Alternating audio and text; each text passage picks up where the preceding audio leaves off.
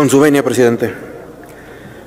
Los retos de la movilidad obligan al replanteamiento de las estrategias que a futuro deben adoptar los gobiernos, principalmente los locales, y que tienen como finalidad establecer una red de transporte multimodal que permita a los ciudadanos elegir la forma de transporte que se adecúa a su estilo de vida y a sus necesidades. En los últimos años se ha identificado el problema que persiste en las ciudades, la falta de articulación que existe entre una misma administración gubernamental, tanto estatal como municipal, para crear soluciones al problema de movilidad. Pese a que pueden surgir diversas propuestas en un mismo gobierno para dar solución a alguna problemática específica o para mejorar algún proceso de servicio,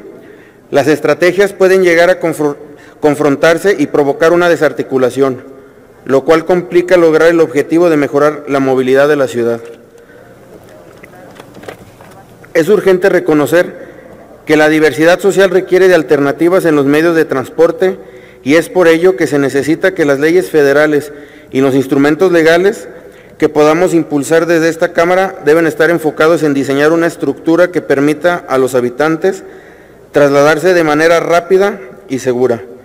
con lo que notablemente podría mejorar su calidad de vida y su entorno familiar. La concientización del problema de la movilidad en las ciudades mexicanas ha provocado que desde el gobierno federal se formulen programas que puedan ayudar a resolver el problema en su totalidad. No obstante, también es cierto que las particularidades de cada región no permiten que se pueda implementar la misma solución o las mismas estrategias en todas las ciudades.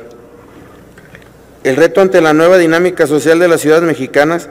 consiste en armar una estructura institucional que garantice el derecho de los ciudadanos a contar con una red de movilidad eficaz en su ciudad, que regule la convivencia entre los usuarios de los distintos medios de transporte,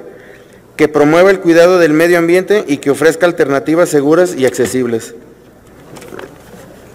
Los gobiernos locales obtienen un papel fundamental para responder a las problemáticas de cada región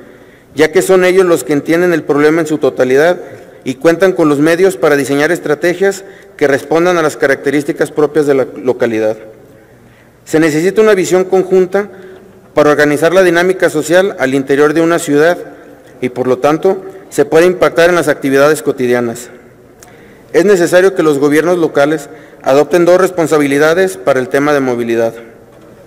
La primera de ellas es la que tiene que ver con la planeación desde lo local, es decir, que deben formular estrategias a partir del contexto de su región a fin de que la política diseñada e implementada responda a la realidad que vive la localidad. Y la segunda, los gobiernos deben mantener el compromiso de articular a sus instancias gubernamentales para prevenir que mientras una política se enfoque en la solución de una problemática, otra política no esté fomentando el problema, de esta forma se evitará que el mismo gobierno se sabotee y asimismo esté provocando un problema superior al que se tenía originalmente. Es así que se pretende establecer que el gobierno municipal sea el encargado de vigilar que los programas gubernamentales coincidan con el objetivo del plan urbano. En Movimiento Ciudadano creemos que las ciudades deben apostar por ser un espacio urbano de convivencia sana entre distintos medios de transporte automovilistas, motociclistas, usuarios de transporte público, vehículos motorizados y por supuesto, muy en especial, el de las bicicletas. Es cuanto.